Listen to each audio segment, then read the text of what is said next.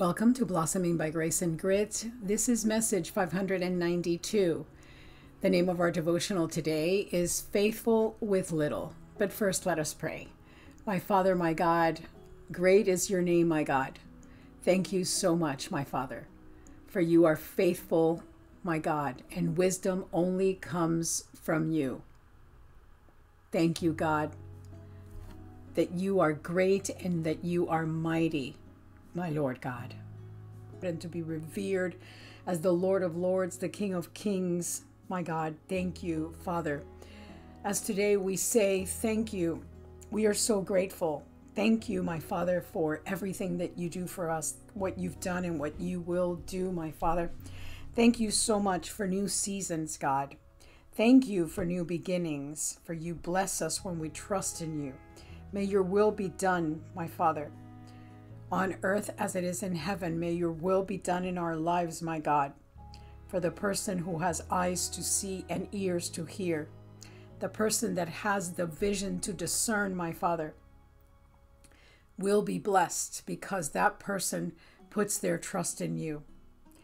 And I am so thankful for small beginnings, those beginnings that we should never despise, my Father for in those small beginnings, there is big promotions, big favor, big grace, and big provision, my God. My Lord God, thank you so much for Ephesians 3:20. And it reads, "Now all glory to God who is able through his mighty power at work within us to accomplish infinitely more than we might ask or think." You are an Ephesians 3:20 God. My Lord God, you are the only one that can open doors that no man can close, and you are the only one that can close doors that no man can open. We thank you for favor and grace. We thank you, Lord, for your blessings seen and unseen. We thank you, Lord, for who you are in our lives, for what you do, my God. My Father, thank you for the wisdom Thank you for your love, my Father, and your mercies that are fresh and new every morning. We praise you and we thank you. In your name, Jesus, we pray. Amen. Faithful with little. The scripture reading is from Luke chapter 16, verse 10, and it reads Whoever can be trusted with very little can also be trusted with much and whoever is dishonest with very little will also be dishonest with much. In Luke 16, verse 10, Jesus teaches us an important principle about faithfulness and integrity. He explains the way that we handle small responsibilities is a reflection of how we will manage greater ones. This verse challenges us to consider how we are stewarding the little things in our lives, knowing that our faithfulness in these areas is crucial to our spiritual growth and future opportunities. The importance of small things. Sometimes we may overlook or undervalue the small tasks and responsibilities in our life. However, Jesus reminds us that how we handle the little things matters greatly whether it's being diligent in our daily work, keeping our promises, or showing kindness in small ways, our faithfulness in these areas reflects our character and readiness for greater responsibilities. God often uses small assignments as a training ground for larger purposes.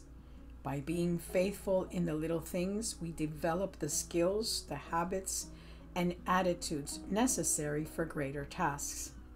It's in the small, everyday moments that God shapes our character and prepares us for future opportunities. And I know this full well because it's happened to me several times in my personal life.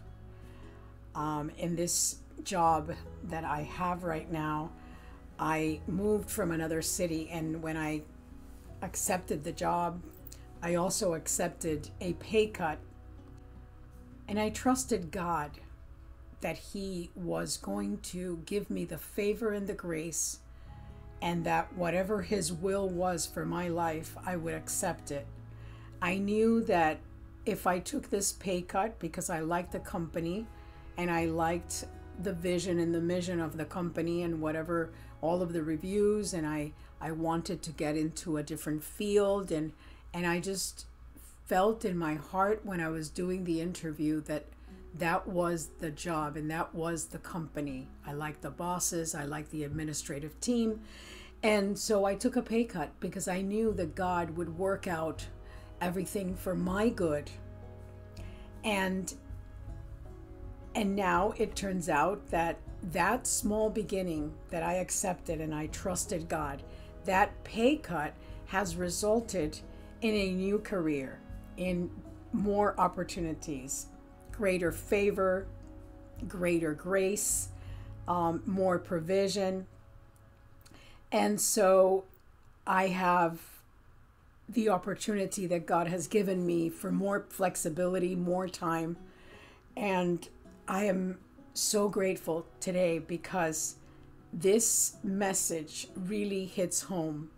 I also want to share with you uh, the story of my friend that also took a pay cut several years ago.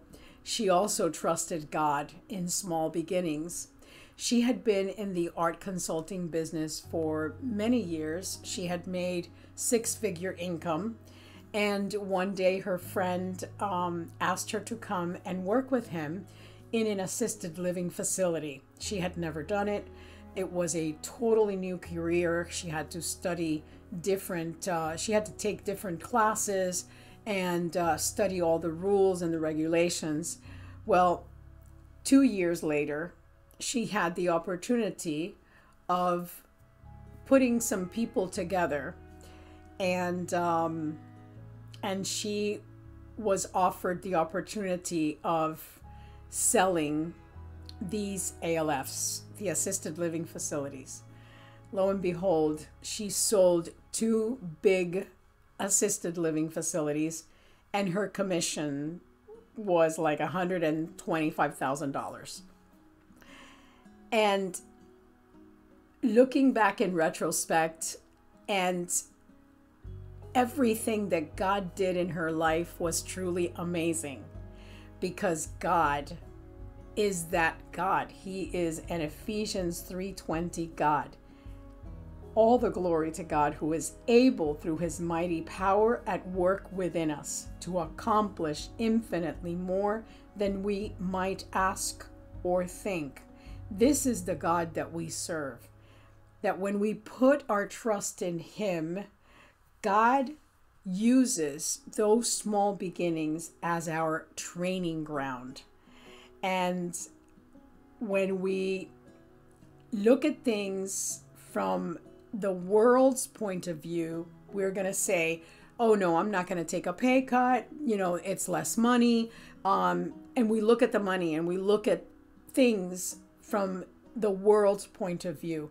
But when we, we are in Christ and we know how God works, we can accept a pay cut because we know that God is going to work everything for our good because He is going to make the small into big, make the small beginnings okay, that the Bible says do not despise small beginnings because from there God can do miraculous things. He can grow you, He can promote you, He can do incredible things that you would not even imagine. And so, after the fact, after uh, the the small has become big, then you have this amazing testimony of the miracle that God did in your life. And then you're going to say wow i did i did well. I really made the right decision in trusting god with the small and look how it became um, a new career a new promotion a new job a new opportunity a new business. Um, it, it's it, it can be limitless to what god can do in our lives when we put our trust in him. And faithfulness is just not it's not just about being trustworthy with the big visible responsibility. It's about maintaining integrity in all areas of life, even when no one is watching. Yesterday, my boss, um, one of our employees, was asking for a raise, and um, she just started working with us uh, in April. Um, but there were other things to consider uh, her past experience and different things, uh, good things that she has that makes her into a commodity. And so um, I, my boss, I asked her for a raise for this girl.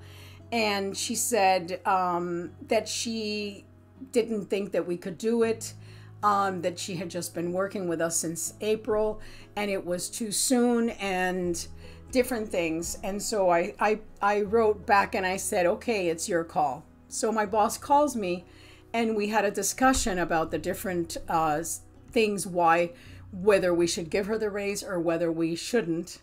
And, um, and my boss finally said, you know what? I trust your judgment. If you want to give her a raise, go ahead and just have this talk with her and tell her xyz and uh, but i i trust your judgment so do whatever you think is right and for me that was an amazing um, an amazing proof of trust because i have been faithful with the small i have been faithful in so many different things in in different areas of my job. And when someone says to you, I trust you, I trust your judgment, do whatever you think is right. Um, when it has to do with their business and their money, you know, and their finances, um, it was a major, major act of, of honor and faithfulness from God. And I was, I felt very grateful to the Lord. Very grateful because um, He has shown me in this season of my life working administratively with this company that He has been all over it. He has been in it. Um, he was the one that prompted me to accept this job, and I have represented Him to the best of my ability.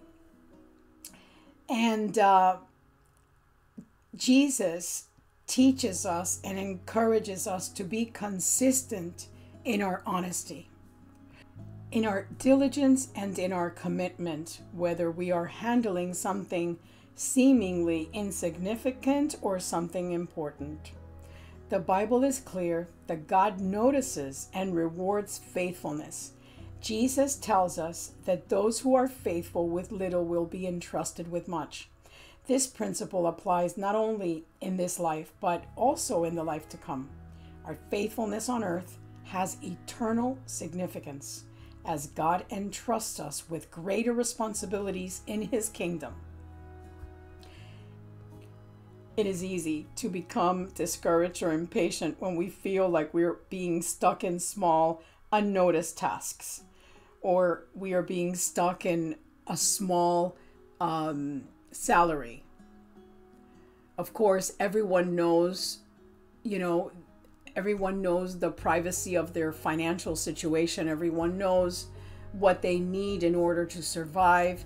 And, you know, so it's a matter of making a decision that is appropriate for your own life. But also, every decision that we make we should honor the Lord and we should trust in Him.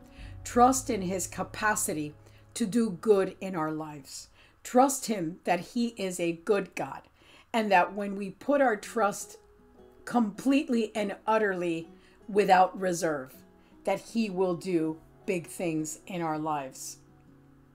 It is the little things that please God and it is a necessary step towards greater things, and we can find contentment and purpose in every situation.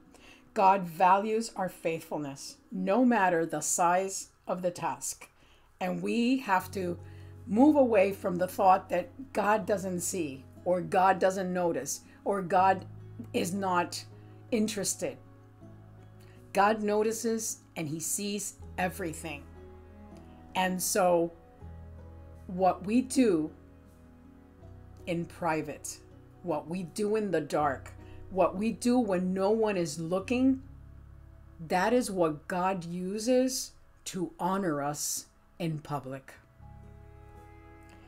Reflect on the small responsibilities and tasks in your life. Are these areas where you need to be more faithful or diligent? How can you approach these tasks with a sense of purpose, knowing that your faithfulness in the little things is important to God? Consider how God might be using these small opportunities to prepare you for greater and better things. We will never despise small beginnings, my Father, because now we understand that you can do great things, mighty things, miraculous things with small beginnings. Thank you so much, my Lord. Heavenly Father, thank you for the reminder that faithfulness in the little things is important to you. Help us to be trustworthy and diligent in every area of our lives, knowing that how we handle small responsibilities reflects our readiness for greater ones. Give us the strength and the commitment to be faithful, even in the tasks that seem insignificant. We trust that as we are faithful with little, you will entrust us with more and more, according to your will. In Jesus' name, amen. My friend, I encourage you to play in the light, play in the sunshine, and dance in the rain. Remember that God loves you so very, very much. Stay grateful. Look all around you, blessings, and God is always speaking. Until we meet again, have a blessed day. This is a prayer to receive Jesus Christ as your Lord and Savior. Father God, thank you so much, my Lord, for Jesus. Thank you so much that I realize that I am a sinner and that I need a Savior, God. Thank you for Jesus. Thank you for the precious blood that was shed on the cross at Calvary for me, for my sins. Lord Jesus, I ask you forgiveness for every one of my sins.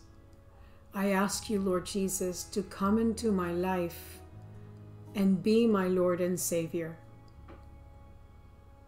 I give you my word that from this day forward I will follow you. I will read the word, I will go to church, and I will spend time with you, Lord Jesus. I want to get to know you more. Thank you, Lord Jesus, for making something of my life that is worthwhile, something wonderful. Thank you, Lord for accepting me as your son, as your daughter into the kingdom of God. Thank you, Lord, for your love, for your great grace. In your name I pray, Lord Jesus. Thank you for receiving me today. Amen. My friend, if you have made this prayer, if you have said this prayer, I congratulate you for because today there is a celebration in heaven. The Bible says that when one sinner repents, there is a celebration. In other words, there is a party in the kingdom of God. And so I congratulate you because it is the absolute best decision that you will ever make or have ever made in your life. Many blessings to you and to your family. In Jesus' name, amen.